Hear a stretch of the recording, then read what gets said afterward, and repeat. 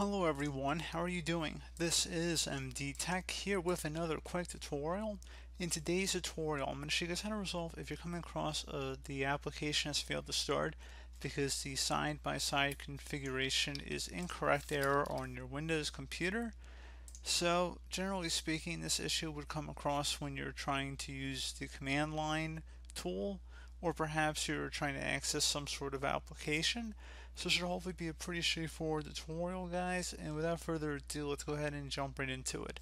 So we're going to start this tutorial off by opening up a web browser. Doesn't matter which one but I'm going to open up Google Chrome for today's tutorial.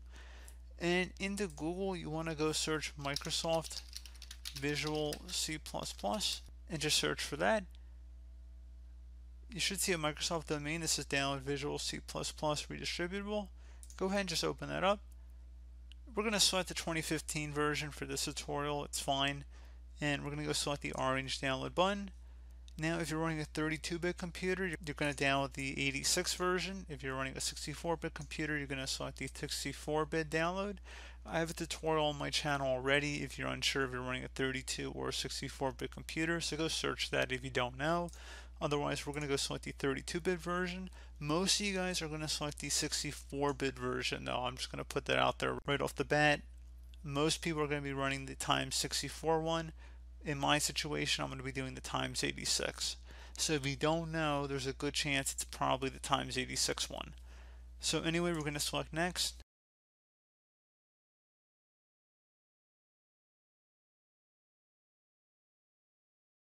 And it's about 13 megabytes so not too big.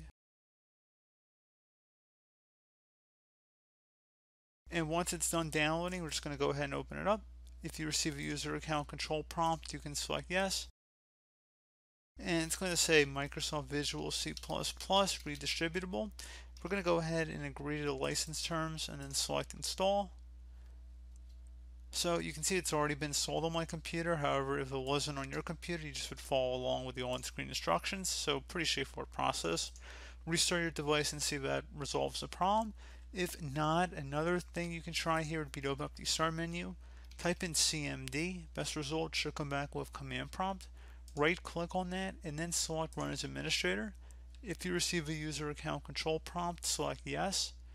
And now I'm going to have a command in the description of the video. I'm actually going to have two, but we're going to copy the first one, the SFC command. So just highlight over it in my description, right click on it and copy. And then over in the command prompt window here, we're just going to right click on the top bar, select edit, and then select paste to paste it in.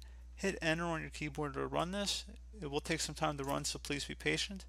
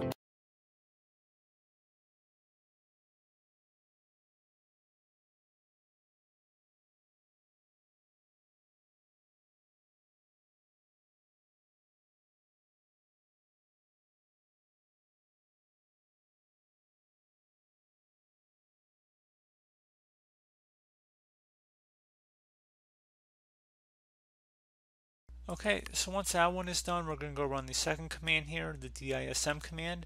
So just copy that from my description of the video and then paste that one in the same way we did the first one here. I'm going to hit enter.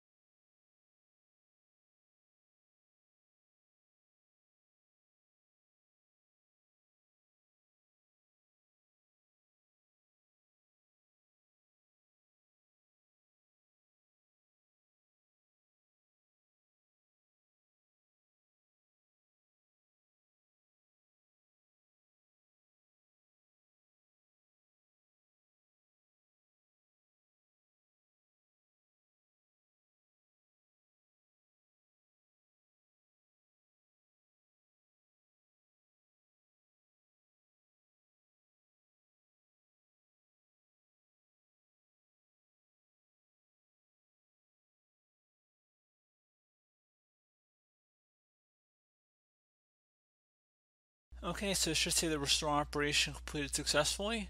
Once you're done with that, you just close out of here, restart your computer, and that would be about it. So as always, thank you guys for watching this brief tutorial. Do hope I was able to help you out, and I do look forward to catching you all in the next tutorial. Goodbye.